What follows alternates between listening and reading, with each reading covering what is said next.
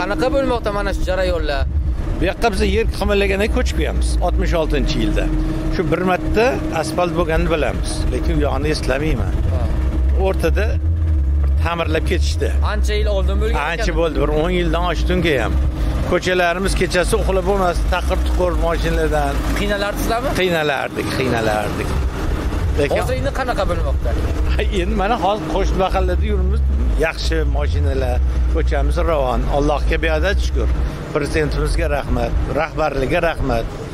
Ra- mahallamiz obod bo'lyapti. Raisimiz ham yordamchi hammasi kelib kelib tekshiryapti. Nima kamchilik bor deb so'rayapti. Yaxshi beadad shukur. Bundan buyoq man allohga beadad shukur deyman mana shu sizlar fuqaro sifatida yana shu qanaqa o'zgarishlarni sezmoqdasizlar? Mana asfalt qoplamalari mana shu oxirgi marta qachon bo'lgan uchtepada mana shunaqangi o'zgarishlar?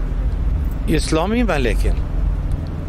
Ancha bir bir ta'mirlab ketishgan.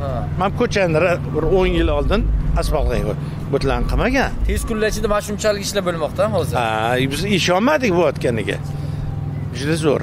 Maktablar nevaralarimiz maktabga chiqadi rahmat hammasiga. Rahmat.